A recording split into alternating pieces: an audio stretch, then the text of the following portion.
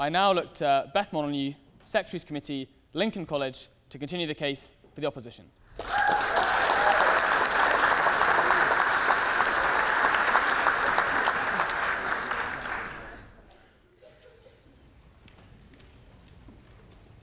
I wonder how many people in this room used to watch House of Cards. Who'll admit, sorry, I will apologise in advance for my voice, um, who will admit that they were a little disappointed when they heard the allegations against Kevin Spacey and realised that they could never watch it in quite the same way again.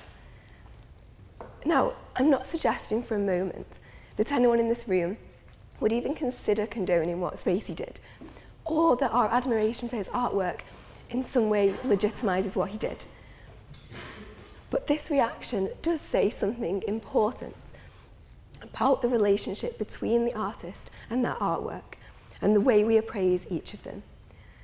I want to argue today that when we do not allow the art and the artist to be separated, we allow for a link to be created, which, contrary to what proposition will have you believe, actually prevents us from condemning the artist to the full extent that we should.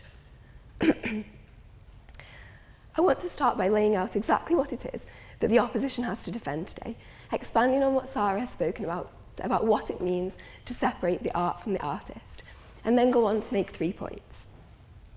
Firstly, that the, art, the artwork is not solely created by the disgraced artist and should therefore not be judged solely on their misconduct.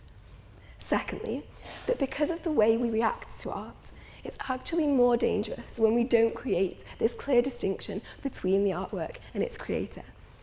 And thirdly, that when we do separate the two, we're actually better able to make a critical judgment on both the art and the artist. It would be tempting for the opposition to interpret this debate as a theoretical examination of the role of art and the extent to which our knowledge of the artist's life should play a role in our interpretation of their work. This is indeed a debate which literary and artistic criticism has been having for decades, and it's one that will probably never be resolved. While there may very well be a number of convincing reasons why the novel should be viewed as separate from its author, or the painting as separate from its painter, this question has acquired a new significance in the age of Me Too. It's now necessary to examine whether we can still watch and enjoy the films and TV series created by the wave of directors and actors denounced by the Me Too movement. Now, as Sarah so eloquently explained, there is a difference between separating the art from the artist and actively endorsing the artist by continuing to buy their music or films, for example. Opposition certainly does not have to defend excusing these artists or rewarding them financially. We simply have to prove that it's legitimate, possible, and desirable to keep them separate from that artwork. So what does this separation actually mean? To separate the art from the artist would imply a fun, sorry, to separate the art from the artist would be to judge these two entities with no relation to each other, to appraise them each in their own right. Not to separate the two would imply a fundamental and permanent link being drawn between the two. To judge the artist always with the art in mind, and to judge the art always with the artist in mind. This premise will become important later in my case. So, to begin with my first point, which relates to how we define the artist. There was a time when the artist was a single entity, which was easy to identify. Charlotte Bronte is the author of Jane Eyre, Van Gogh is the artist behind the sunflowers. But as, as I've already outlined, it's not really these art forms on which the debate centres. Instead, it's specifically the media and film industry, where the artist is not quite as easily identifiable as we might like to imagine. Of course, it's very easy to know which films Weinstein directed, and he probably was the principal artist responsible for those films. But that's not to say that there wasn't also a huge crew of people who also contributed to the production of that film. In Hollywood today, productions take place on such a large scale that while it may well be the high profile director who's pra praised with the creative vision and the hard work that goes into the film.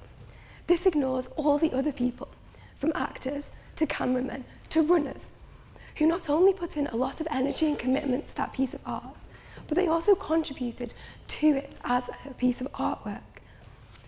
In light of this, it becomes possible to separate the art from the artist, because the artist is not a single individual who is responsible for the entire project. Whereas the perpetrator of a sexual offence is very much the only person who is responsible for the atrocious act that they have committed. But even if we can attribute a film as a work of art to a single artist, I'll now explain why it's imperative that we do continue to separate the two. Let's return for a moment to what I outlined earlier about what it means not to separate the art from the artist. It's to create a bond between the two, which necessitates that when we judge the art, we do so with the artist in mind. And it's this connection which the debate has focused on so far. But this connection works both ways, meaning that when we associate the art and the artist, we must also judge the artist with the art in mind. And it's this reciprocal relationship which is particularly harmful. Think of the first time that you saw Edward Scissorhands, Midnight in Paris, or The Cosby Show, or any other film involving a director or actor whose sexual misconduct has been exposed by the Me Too movement. But a film which, the first time you watched it, or even the second or the third, you enjoyed. I'm sure most people in this room have a film which fits those criteria. And so then, when faced with the horrific reality of what the artist behind your beloved film has done, you are faced with a dilemma. Can you carry on watching and loving the film in the same way? In Opposition's world, you can. You can continue to love the film while simultaneously denouncing its creator for the abhorrent choices that they have made in their personal life. And what happens in Proposition's world? The emotional reaction which art evokes is an incredibly powerful one. And there are many people out there who feel almost personally attacked when their favourite works of art are devalued in this way. Now, for most people in this room who sympathise with the Me Too movement, this feeling is still superseded by the abhorrence of what you know the artist has done.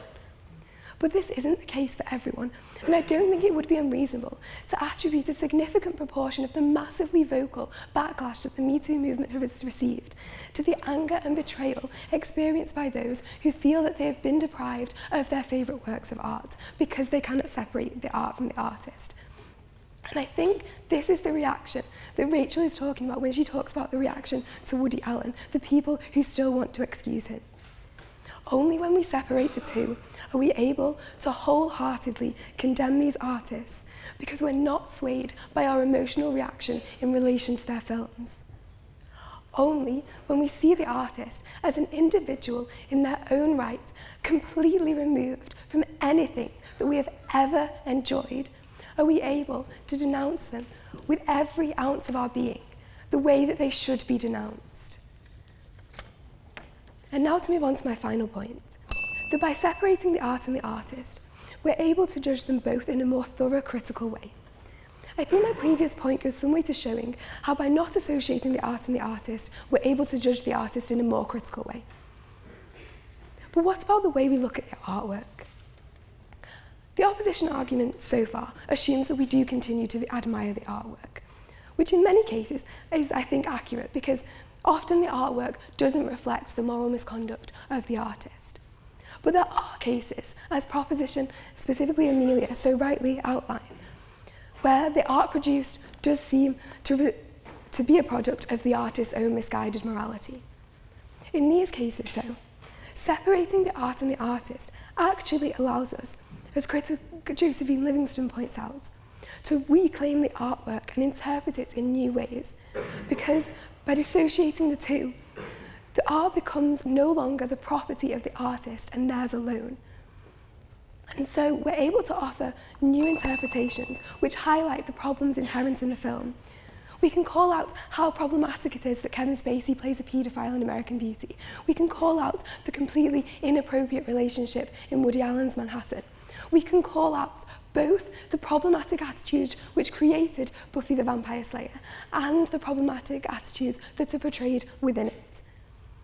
When we separate the artist from the artwork, we take the power and control to determine meaning out of the hands of the, art, the disgraced artist, and we transfer it to the viewer, who can thus condemn both the art and the artist as is necessary in a more considered and profound way, which is only possible when we separate the two.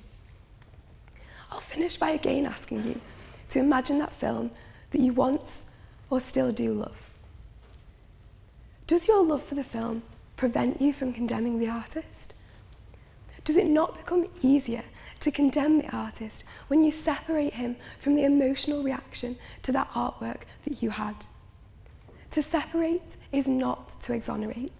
It's instead to allow for a more critical examination of both the art and the artist.